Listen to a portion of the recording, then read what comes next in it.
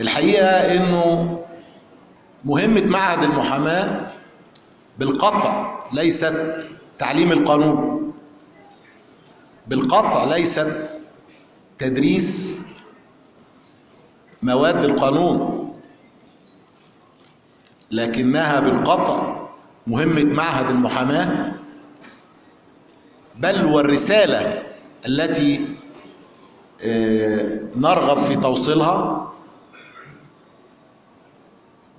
هي كيف تكون محاميا نابها؟ كيف يمكن أن تصبح متميزا؟ ولذلك محاضرة النهارده عبارة عن قراءة في أحداث يوم كامل في حياة المحامي. بداية من شروق الشمس حتى نهاية اليوم. يعني ببساطة شديدة عايزين ننقل لحضراتكم خبراتنا في كيفية التعامل كمحامي مع كل اللي هتقابلهم من أول ما تصحى الصبح لغاية لما تقفل مكتبك وتروح. بالطريقة التي تعود عليك كمحامي معنويا وماديا.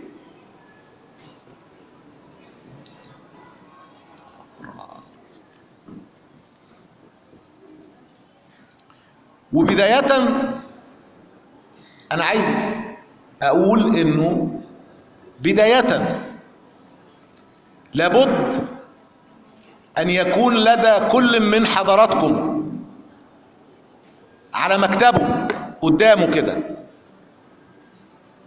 كافة القوانين المصرية الأكواد موجودة على مكتبك.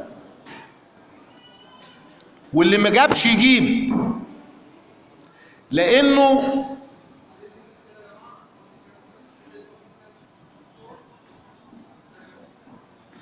منها دائما أنت تبدأ. وقبل ما تفتح هذه الأكواد وتقراها عند اللزوم واجب عليك أن تقرأ قانون المحاماة مرة واثنين وثلاثة. لأنه ببساطة حضرات قانون المحاماة هو ما يحوي حقوقك وواجباتك. لازم تبقى عارف حقك فين وواجباتك إيه. لازم تبقى عارف حقوقك فين وانت في اسم الشرطة. وما تبقاش محتاج لسه تسأل. وتبقى عارف حقوقك فين وانت في سرايا النيابة في الطرقة. وتبقى عارف أيضا حدودك فين. وتبقى عارف حقوقك فين وانت في غرفة التحقيق. أنا بعرض سريعا على موضوعات حضراتكم مكلفين إن أنتوا اللي تبحروا فيها أنتوا اللي تبحثوا وتقروا. لازم تبقى عارف حقك فين وأنت في غرفة التحقيق. وتبقى عارف حقك بيبدأ إمتى كمان في غرفة التحقيق. وتبقى عارف واجبك نحو, نحو موكلك وأنت في التحقيق إيه. وأيضا يجب أن تعلم متى تتكلم أثناء التحقيق ومتى تصمت. ده طبعا استكمالا إنك تبقى عارف حقك فين في قاعة الجلسة وحقك فين في قلم الكتاب. ودورك إيه؟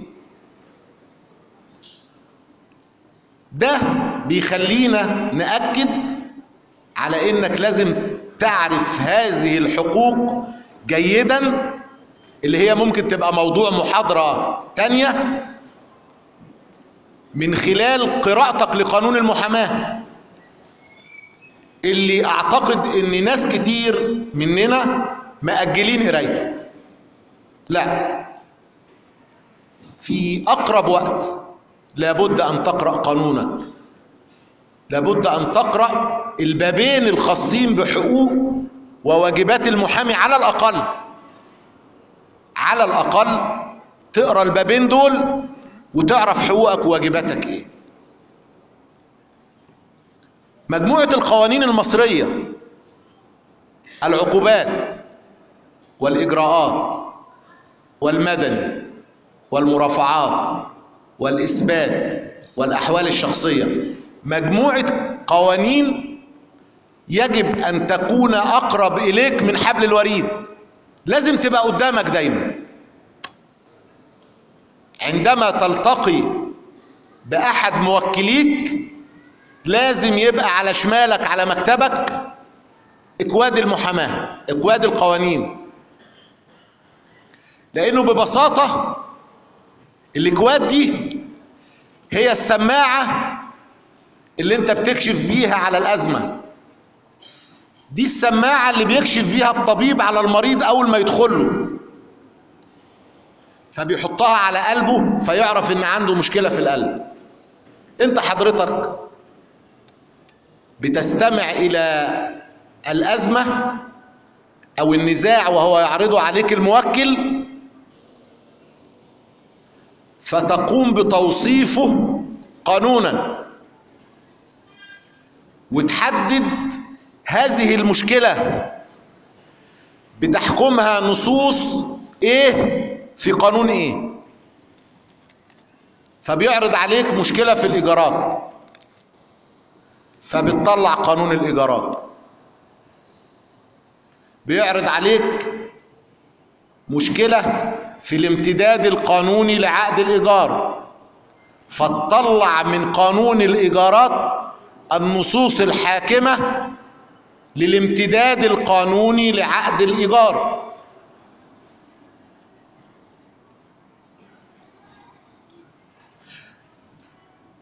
تلك البداية. تلك البداية. الموكل بيتصل بحضراتكم تليفون يا أستاذ أو يا أستاذة أنا عايز أقابلك. اولا يجب أن تحافظ على مسافة بينك وبين موكلك ايا ما كانت درجة العلاقة بينكم. هذه المسافة لا تسمح له ولا تسمح لنفسك إنه يتخطاها. هذه المسافة من الاحترام. تجعل عملك معه كمحاميا ناجحا. يعني ما تسمحلوش إنه ياخد عليك قوي. ولا يعشم فيك قوي. أنا بقول كلام لحضراتكم من واقع خبرات. حافظ على مسافة من الاحترام والود أيضا ما بينك وما بين الموكل. في التليفون يجب أن تحافظ على هذه المسافة. في مكتبك يجب أن تحافظ أيضا على هذه المسافة في إطار هذه العلاقة. ما لم يكن بينك وبينه صلة قرابة وعليك أن تفصل تماما ما بين صداقتك له أو قرابتك للموكل وما بين عملك معه كمحامي. هيتصل بيك بالتليفون ياخد ميعاد أو هيخبط على مكتبك ويدخل.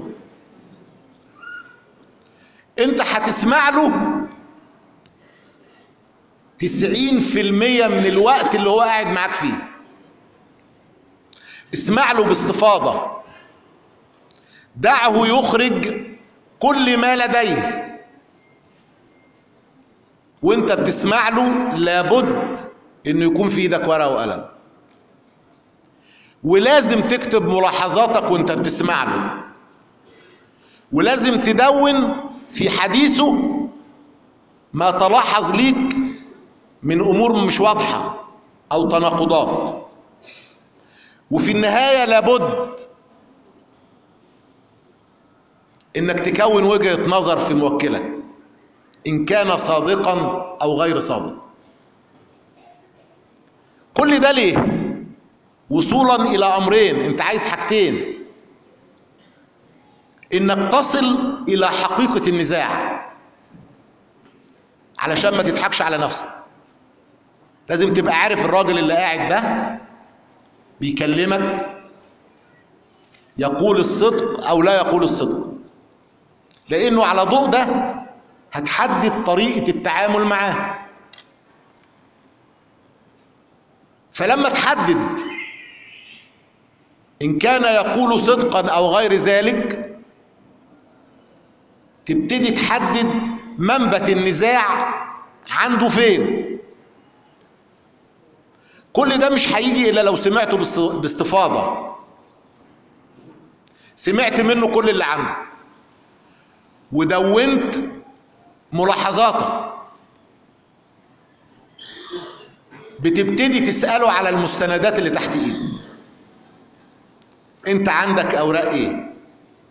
فين المستندات الدالة على صحة ما تقول؟ فين أوراق ملكيتك للأرض اللي أنت بتدعي إنها اغتصبت منك؟ وتاخد المستندات اللي موجودة. وإذا كانت مستندات غير كافية بتطلب منه باقي المستندات كتابة. اديله ورقة أقول له أنت عايز فيها إيه؟ عايز منه ورق إيه؟ أيضا لازم تكون عندك إلمام كامل بلحظة بداية النزاع اللي هو جاي يعرضه عليك حتى اللحظة اللي هو قاعد معاك فيها. علشان ما تفاجأش وانت في نص الطريق وشغال في قضية انه اصل الاستاذ ده كان رافع القضية دي قبل كده بس ما قالكش وكانت واخدة حكم. أو انه عمل اجراء تنازل فيه عن هذا النزاع وما قالكش.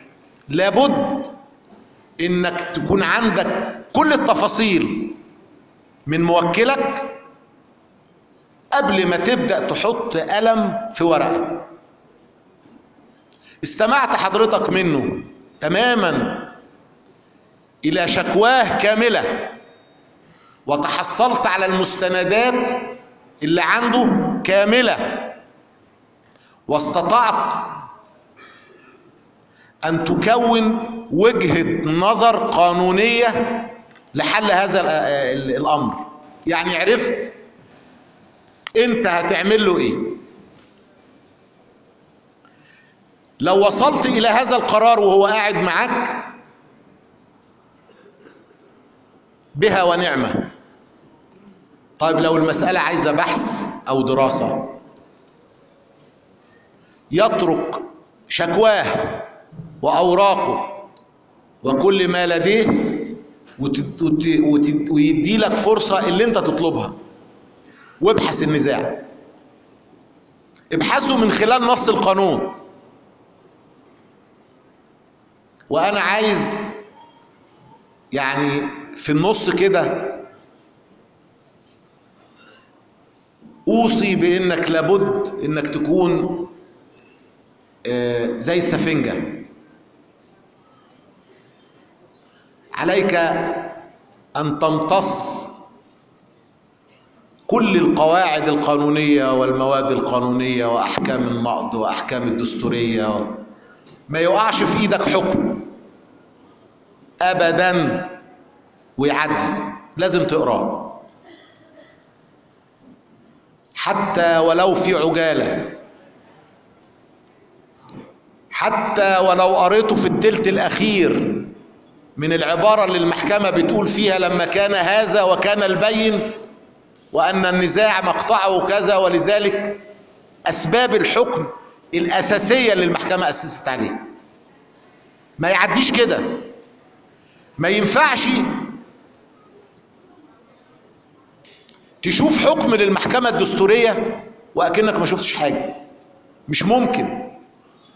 انت لو ما اتغديتش وقريت حكم للمحكمة الدستورية هتشبع. الكلام ده حضرات بيخلق فينا ما يسمى بالملكة القانونية.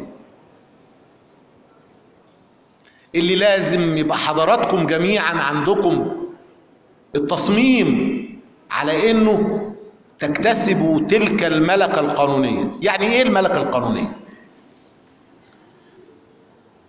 القانون يا حضرات ببساطة شديدة القانون هو المنطق. ما هو مش متصور إن المشرع وهو بيكتب القاعدة القانونية بيكتبها بالشمال يعني. أو إنه يحط قاعدة قانونية تخالف المنطق. وبالتالي اللي بيحط القاعدة القانونية هو بشر. والقاعدة القانونية دايما بتبقى نتيجة حوار ومناقشة. زي حضراتكم. لو حبينا. نأصل قاعدة قانونية أو مادة في القانون دلوقتي جديدة نستحدثها. هنسمع رأي حضراتكم ومن خلاصة هذا الرأي هنصيغ المادة القانونية اللي بتحكم الموضوع اللي إحنا عايزينه. ومن ثم يستحيل إنه تبقى في نص في القانون عكس العقل. ولذلك لما يغيب عنك النص لما يعجزك النص لما تبحث عن النص وما تلاقيهوش العقل موجود. اعمل عقلك أو اعمل عقلك في بحث النزاع. اعمل المنطق في ميزان الأمور ما بين الحقوق. المتقابلة. تستطيع بما إنك تحمل ميزان فيه المنطق إنك تقول الحق في أي من الجانبين إلى أن يسعفك النص القانوني. يعني لغاية لما تلاقي المادة اللي بتحكم النزاع اللي أنت عايزها شغل العقل. ممكن تلاقي نص القانون. لكنه على إبهام وغموض يخليك مش فاهم حاجة برضه. فتبقى محتاج تلاقي حكم محكمة النقض في هذا الموضوع. لأنه هو اللي بيفصص النص. لأنه محكمة النقض هي اللي بتخفف حدة النص. هي اللي بتوضح حالات تطبيقه بشكل أبسط. ما أسعفنيش النص لأنه وارد جدا إنه أبقى موجود في مكان فيفاجئني أحد الأشخاص يسألني سؤال وأنا مش الإجابة الإجابة مش حاضرة. نعمل العقل. في قياس المنطق أين المنطق فيما تقول؟ أين المنطق في هذا النزاع؟ وغالبا عندما تعثر على النص القانوني اللي انت بتدور عليه لابد أن يكون متوافقا مع هذا المنطق. لازم تلاقيه سهل جدا إنه يعدي في عقلك. مش هيقف. مش هيلاقي اعتراض. مش هتلاقي يعني داخلك اعتراض في هذا النص وانت بتطبقه. لأنه ببساطة لما بيحصل هذا الاعتراض يعني لما بيصدر نص قانوني عكس العقل عكس القانون ببساطة شديدة يشعر به المحامين. و... و... وحضراتكم تعرفوا إنه النصوص القانونية اللي بيتحكم بعدم دستوريتها اللي بيتحكم بإنها غير دستورية وغير قانونية بيبقى بداية الشرارة فيها للمحامين. لأن المحامي هو أول من يشعر بأنه هذا النص غير دستوري. النص ده بيعطل مبدأ من المبادئ الكلية في الدستور بيتعارض مع الحرية مثلا. أول من يشعر بده هو المحامي. أول من يستخدم النص القانوني فيشعر إنه فيه تمييز ما بين الناس بلا مبرر هو المحامي. وبالتالي وجدانك وعقلك خليه دايما فلتر لأنزعة الناس اللي بتعرض عليك ولنصوص القوانين اللي انت هتطبقها في هذه اللحظة يبدأ التميز في هذه اللحظة بتبقى متمكن من موضوعك متمكن من السيطرة على قضيتك ومن التعامل مع موكلك. لأنه آه، إحنا مش بنشتغل المحاماة ببلاش. انت محتاج عشان تؤتي ثمرة تؤتي لك المحاماة ثمرة أن يكون لها عائد. لن تستطيع أن تحصل من المحاماة على العائد الذي ترغبه إلا إن كنت متمكنا زي الفارس كده على الحصان. لو ملكت موضوعك هتستطيع أن تطلب ما تريد. لأنه الحقيقة ودي مسألة ألاحظها في بعض الزملاء. المحامي شاطر وفاهم لكن لما بيجي يتكلم في أتعابه بتجيله حالة من يعني بيتلخبط. دي أهم حاجة دي. ودي شوف يعني يعني دي نصيحة مهمة. كن واثقا محددا. في التلت الأخير كده من كلامك مع موكلك حدد أنت عايز منه كام. يعني هو يبقى بيتكلم في حاجة تاني وأنت بتفكر أنت كده أتعاب القضية دي كام؟ وبمجرد أن تنتهي من تحديد أنت هتعمل له إيه؟ والنتيجة المرجوة إيه؟ حدد أتعابك واطلبها منه. وافق. أهلا وسهلا ما وافقش. لم الورق واديهوله تاني. لأنك ببساطة شديدة لو بذلت جهد ذهني ويدوي ومحكمة وجلسات ومستندات وخبير وإلى آخره دون أن تحصل على المقابل الذي تستحقه الذي يجعل منك محاميا تحترم نفسك يبقى ملوش لازمة. طبعا هذا الكلام يمكن الزميلات يعني يعني ممكن يبقى يبقى مش مناسب قوي. لكن أنا بقول برضه إنه احصلي أيضا على حقه. لو أنت بتشتغلي في شركة بتمارسي فيها أعمال المحاماة محامية لدى شركة يجب أن تتفقي على راتبك أو مرتبك أو دخلك من الشركة بوضوح. أيضا يجب أن يشمل هذا الاتفاق.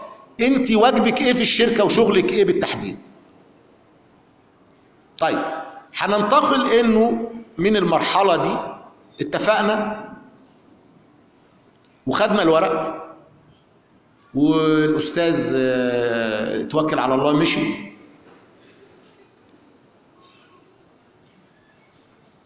عليك أن تبدأ بكتابة بداية النزاع. انت حدد في نقاط حدد في نقاط. انت هتعمل قضية إيه؟ هترفع له دعوة بإيه؟ وما يحكمها من نصوص هو إيه؟ واعمل مزج ما بين هذه النصوص الحاكمة لهذا الموضوع وما بين المستندات والوقائع الخاصة بموكلك. وابدأ اكتب صحيفة الدعوة. وهنا لازم تستلهموا في هذه اللحظة روح الأدباء. يعني ما تكتبش عريض الدعوة صمة كده. ما ينفعش أبدأ في كتابة عريضة الدعوة بمنبت النزاع أو أصل النزاع مرة واحدة. لأنه لازم حضراتكم تراعوا إنه اللي هيقرأ صحيفة الدعوة دي بشر. ممكن ما يكملش الصحيفة. ممكن أنا أكتب صحيفة أول ما حضرتك تقريها أو حضرتك في السطر الثالث تقلبها وتركنها. لكن عليك أن تختار الأسلوب. الذي تصيغ فيه شرح وقائع الدعوة. اختار الأسلوب اللي يجعلني لا أترك صحيفة الدعوة اللي أنت كاتبها إلا في الصفحة الأخيرة. هذا الأسلوب وهذه الطريقة إحنا ما بنتولدش بيها. يعني إحنا مش بنتولد عارفين نكتب آه، آه، كيف نكتب ب- بصياغة أدبية وبلغة عربية. لا إحنا بنكتسب ده. إحنا بنتعلم ده. أنا شخصيا تعلمت ده من ملفات الحفظ اللي كانت في مكتب أستاذي اللي اتعلمت عنده. فكنت أطلع الملفات القديمة بتاعت الحفظ وأقرأ صحف الدعاوى اللي هو كاتبها قديمة.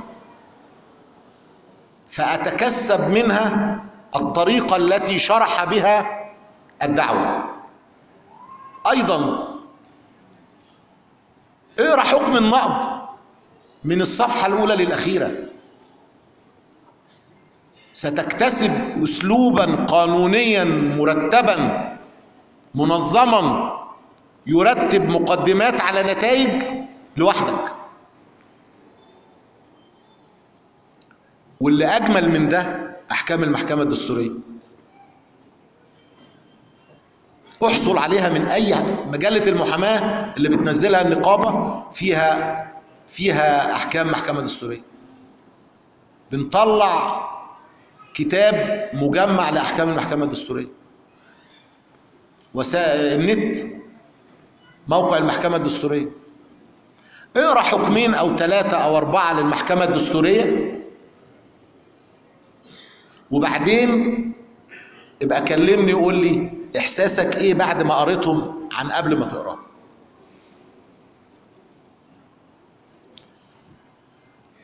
صغت دعواك بالطريقة التي تصل إلى عقل هذا القاضي الذي سوف يحكم ولازم يبقى في في تقديرك دايما. إن أنت مش بتكتب لنفسك. أنت بتكتب عشان القاضي الذي سوف يحكم يعرف يقرأ. ومش بس يعرف يقرأ لا يقرأ ويفهم. هو يا حضرات في الفصل الدراسي في المدرسة مين اللي بيبقى واقف؟ ومين اللي بيبقى قاعد؟ الطالب قاعد. واللي بيعلمه هو اللي واقف. انت اللي بتحط ايد القاضي على النزاع وحل النزاع. وأنا كخصم ليك في القضية بعرض وجهة النظر الأخرى. أنا وانت اللي بنحدد للقاضي وجهتي النظر. المدعي والمدعى عليه. وكلانا محامين. إحنا اللي بنحدد للمحكمة وجهتي النظر في هذا النزاع.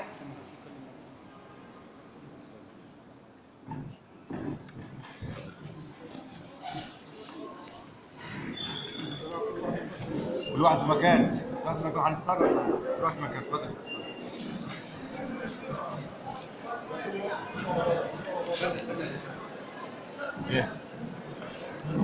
تعالى فوق تعالى فوق يا لا لا فوق فوق.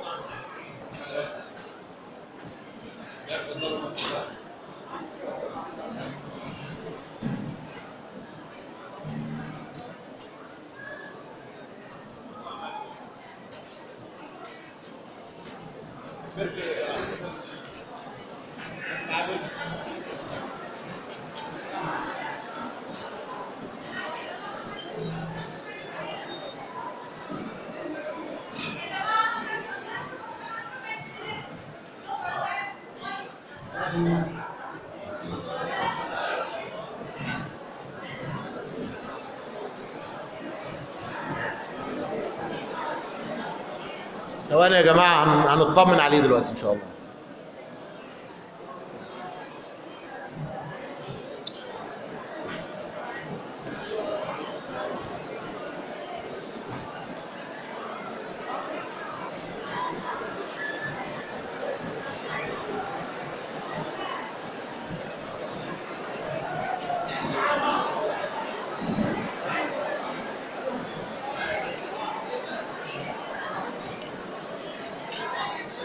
هو زميل حالة إغماء بس هبوط هبوط بسيط كده وهيبقى كويس إن شاء الله.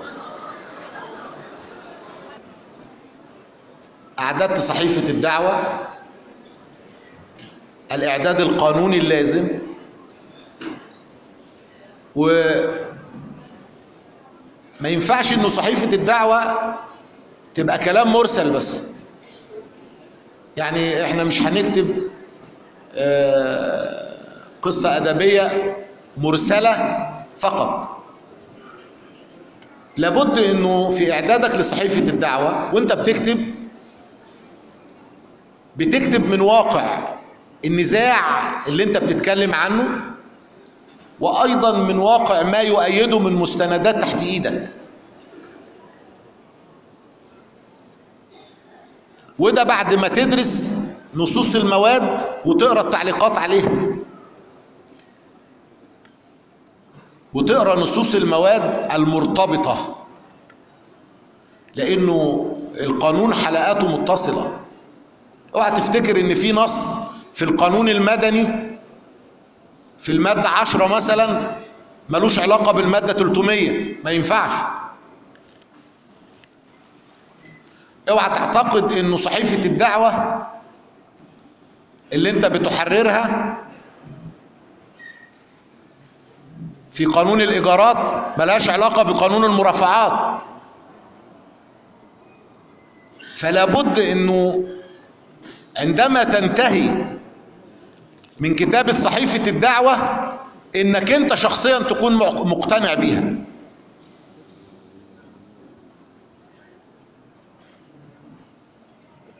المسألة قبل الأخيرة في هذه في هذه النقطة إنه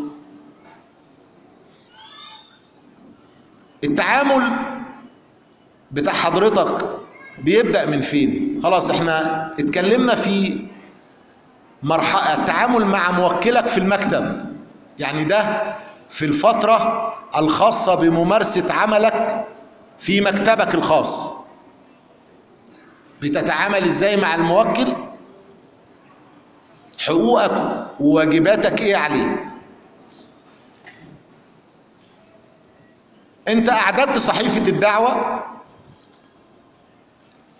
والصبح في المحكمة. شوفوا حضراتكم.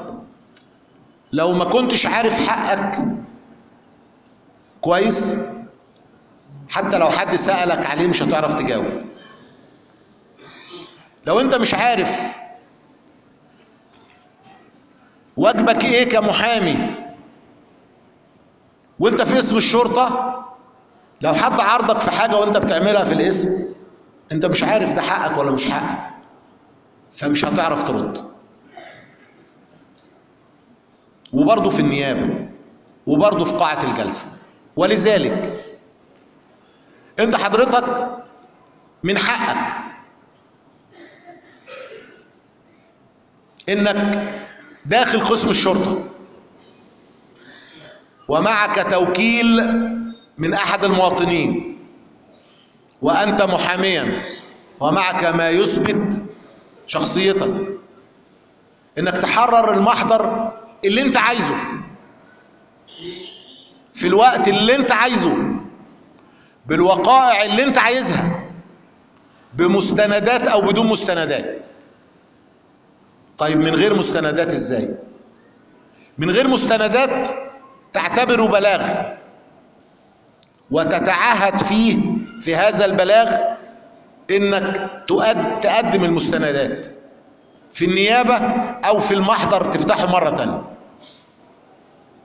من حقك إذا ما كانش بلاغ تعمل محضر إثبات حالة لأي وقعة شريطة إن يكون ليك صفة فيها.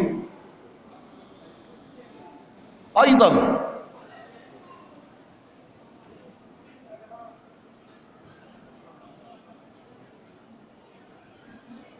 أنا زعلتك ولا حاجة؟ طب أنا السبب؟ اتفضل.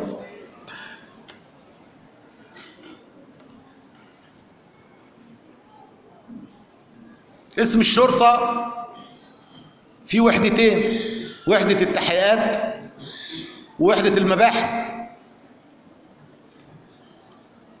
في وحدة المباحث لا تتعامل إلا مع رئيس المباحث أو أحد المعاونين. وإن لم تستطع سيبه وانزل اشتكيه في النيابة. في وحدة التحقيقات عندك المأمور ونائب المأمور. ورئيس وحدة الضبط أو رئيس التحقيقات اللي هو الضابط النبطشي اللي موجود في النبطشية.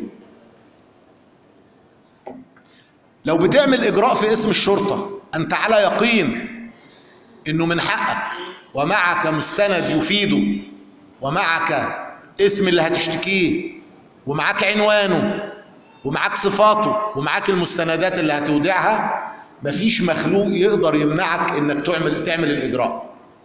طب تعنت معاك المأمور تعنت معاك ضابط التحيات عندك نائب المأمور تعنت نائب المأمور عندك المأمور تعنت المأمور عندك لغاية مدير الأمن بالورقة والقلم.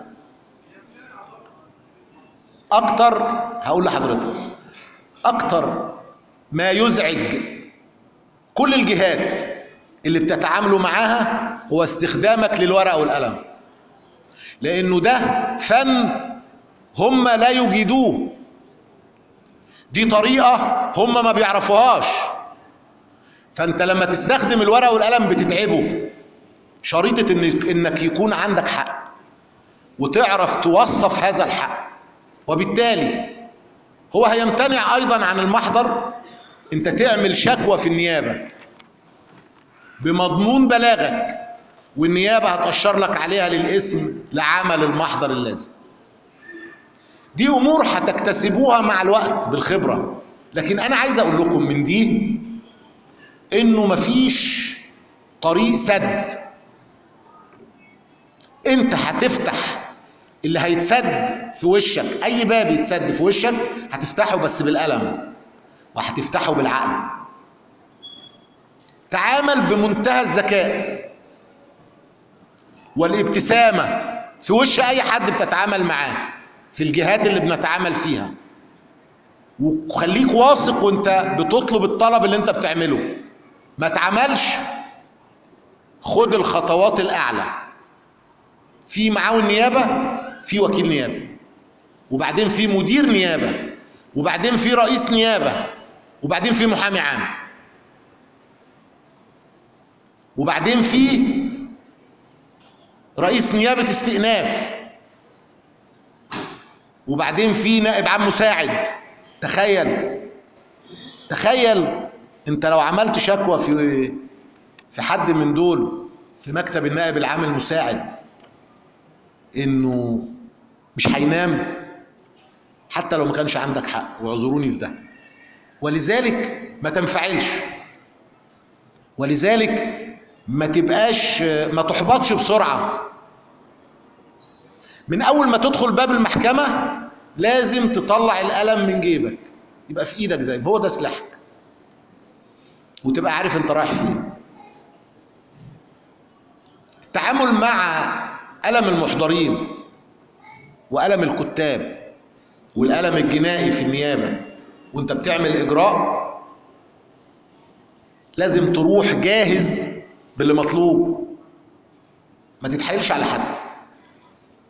أنت رايح تعمل استئناف مطلوب منك الكارنيه وسند الوكالة وطلب روح جاهز. عشان ما يفتحش بقه. وعشان تحفظ على نفسك كرامتك. وعشان تنجز العمل اللي انت عايزه في أسرع وقت.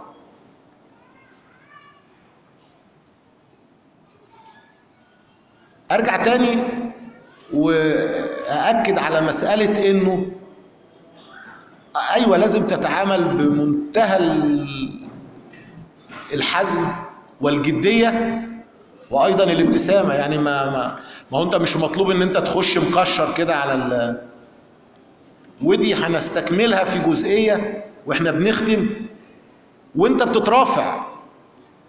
يا اخوانا إحنا كلنا بشر. ولازم تبقى مدرك تماما وعارف. أنت بتقول إيه مع مين؟ فين؟ يعني لازم تختار الطريقة وده مش عيب على فكرة. هذا فن لابد إنك تكتسبه. مش عيب ابدا إنك تعرف إزاي تتكلم لأنه أنت بتتكلم مع مين وفين والساعة كام وفي أنهي محكمة. يعني الطريقة التي تتعامل بيها مع هؤلاء الذين نتعامل معهم هذه الطريقة يتوقف عليها نصف النتيجة اللي انت عايزها. صدقوني هذا كلام حقيقي. قد تكون صاحب حق تماما لكنك فشلت في كيف يصل هذا الحق أو تصل به إلى وجدان من يقرر هذا الحق. آه أنت مش هتعيك الوسيلة أنت مش هتتكتف. حتى لو ما معرفتش توصل وهو ما ادكش حقك لديك من الوسائل وطرق الطعن والتظلمات اللي هتجيب حقك برضه. لكن ليه؟ اللي أنا عايز أقوله ليه؟ يجب أن نكتسب أفضل الوسائل التي نصل بها إلى أفضل النتائج في أقل وقت. ببساطة شديدة تستطيع أن تحصل لأنه تاني هقول إحنا بشر. ما هو البيه رئيس النيابة اللي قاعد يأشر لك على الطلب اللي ممكن يكتب نظر وإرفاق. وأنت طلبك قانوني فيقول لك وجهة نظر يا أستاذ اتفضل اشتكينا عند المحامي العام. هذا هو هو هو الشخص اللي ممكن لما أدخل له أنا يقول لي قوي قوي يا سلام. ينفذ يصرح حسب التعليمات فورا. ال- المعيار الشخصي ما لم يكن هناك شخص مريض خلينا نتفق إنه في ناس مرضى. لو جاله مين هو غلس. ده بنعرفه يعني وما بنسكتش عليه. والمحامين دائما لما بتتفق على إن في واحد مش أهل للمكان اللي هو فيه على فكرة النقابة ما بتسكتش وما بنسيبوش في مكانه. لكن هب أنه هو مستغلسك أنت. يبقى أنا أبحث عن السبب. يجوز. يجوز أنا وداخله معلش. كنت لابس تيشيرت كده وعليه آه مش عارف إيه وهو مش عاجبه ده. هو من حقه. هو قاعد لابس بدلته وكرافتته وقاعد وعايز اللي يدخل له يبقى ملتزم. قد يجوز فيقول لك نظر وأرفاق. المقصود إنه قد يكون السبب عندي فما ما, ما ندفنش راسنا في الرمله أنا تأكدت تماما إن أنا تمام. متمكن من ما فيش ما في ما فيش غلطة. خلاص حتى النائب العام أستطيع أن أصل. وأعرض وجهة نظري وفي النهاية لن يستطيع كائن من كان أن يحول الحق إلى باطل. مش ممكن تكون بتتكلم في قضية آه، صحيحة ويتفق الجميع عليك ويقلبوها باطل. مش ممكن. من المؤكد إنك هتنتصر في النهاية. اللي عايز أقوله إنه يومك بيبدأ بفضل من الله عليك وعلينا بصحة بتفاؤل بأمل في إنك آه، توفق. أيضا بإنك تبقى عارف أنت النهاردة ما تنزلش كده يعني ما ينفعش ما ينفعش تبقى دماغك مش مرتبة. لازم تبقى عارف النهارده أولوياتك إيه؟ وما تعتمدش غير على الورقة والقلم. اكتب. واحد اثنين ثلاثة واللي ربنا يوفقك فيه. سلوكك. سلوكنا الشخصي. بينعكس علينا. ماديا ومعنويا. سلبا وايجابا. كلنا لينا أصدقاء نتعامل مع أصدقائنا. وحقنا ولينا حياتنا الشخصيه لكن في أوقات العمل وفي محيط العمل وفي محيط الأسرة والأصدقاء والزملاء حافظ على أن تبقي لنفسك. قدرا كبيرا من الكرامة والاحترام اللي هينعكس عليك صدقني ماديا. ودي أولوية لمظهرك. هيرجع لك مضروب في عشرة. هيرجع لك مضروب قيمته في عشرة. ابتعد أيضا عن التواجد في الأماكن اللي ممكن حد ينتقدك يقول شوف أستاذ محمد شوف يا أخي قاعد على القهوة اللي مش عارف إيه. لا ممكن يكون ده حقك بس ما تخليهوش بالشكل تضحك ليه؟ تخليهوش بالشكل اللي تنتقد فيه. لكن مش هطول عليكم عن كده. ختاما أنتم من تستطيعوا تحديد أنتوا عايزين إيه؟